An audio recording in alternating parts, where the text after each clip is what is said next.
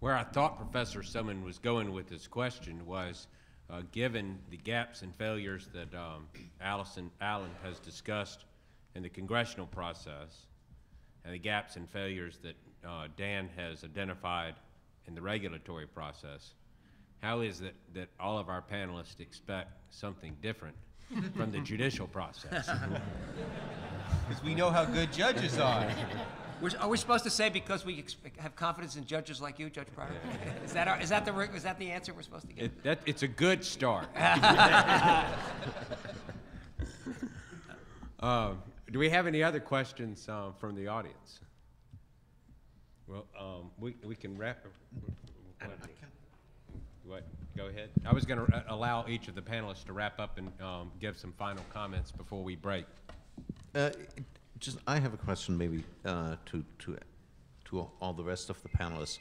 Uh, should there, should there be any difference in the degree of deference that courts give to agency statements that say our intent is non-preemption?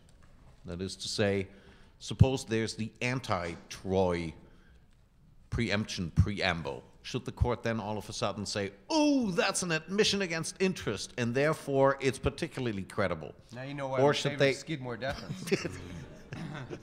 But Are you, are you, you- talking about as a general proposition? as as a general proposition, a and it's a rule or- serious question. Yeah. Um, it, I don't care whether it's.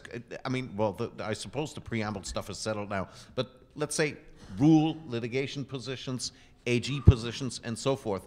Um, there is, in fact, you can. I mean, empirically show this. It does make a difference with respect to the SG's position in ongoing litigation. Right, I was going to start by saying empirically, you know, Eskridge's study also shows significance there too, that namely that uh, positions, uh, anti-preemption uh, positions are given stronger Chevron deference in the um, courts of appeals.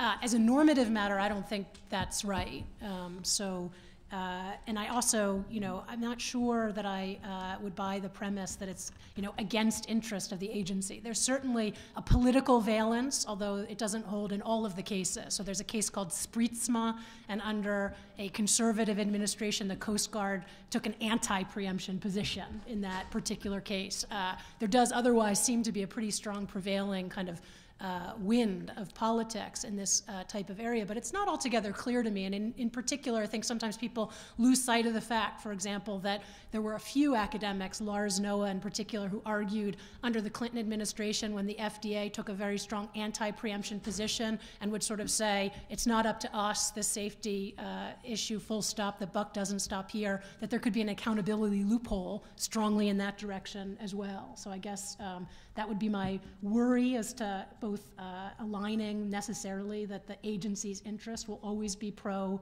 preemption, and then uh, I fail to see why that should get stronger deference. As, as I, as I tell my students, uh, in, in coaching them for, for moot courts, uh, don't get up on rebuttal unless you have something to say. I think I've said enough, thank you. Well Dan, said. Do you have Um, anything else? Yeah, I'll, I'll, I'll end very quickly because I'm not smart enough to follow Alan's advice. Mm-hmm. Um, I, I just want to again, well, first of all, as a normative matter, again, I agree with Catherine that uh, that what that an, an, uh, an anti-preemption statement by the agency shouldn't necessarily be outcome determinative, although she's also right that it, if you observe this, the cases, it frequently is. Again, I want us to, to, to take us back to, as a practical matter, what ends up happening. Again, using the FDA as a paradigm, but it's not, it, it's, it's somewhat representative. If you look at the total NDA, and an NDA, it sounds like a new drug application, sounds like a college applications like this. Actually, it's enough documents to fill this room. Um, that's how much data is submitted to the agency. In the back, if you look at the sum total of the correspondence back and forth, by and large, the company has told the agency everything that it knows about it, and then the agency responds.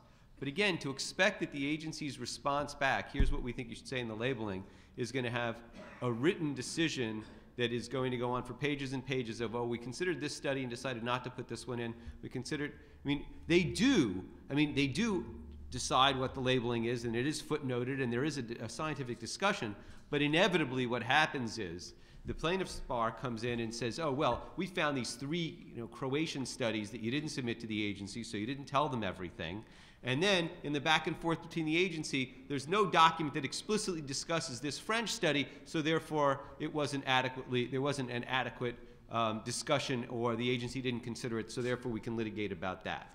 And, and, and that's where, the, where what ends up happening. So on top of having to decide the scientific causation, basically you're asking the federal courts, and I'd rather trust the federal courts than the state courts, but you're asking the judges, and ultimately, God help us, juries, to decide whether the back and forth with the agency was sufficient to give it preemptive effect. And that's kind of, you know, where we are. I just hope that when we've got a good enough case where the court, where the agency has told us to do something or not to do something, that we'll be able to get preemption. Please join me in uh, thanking our panelists for their discussion. Thank you. Good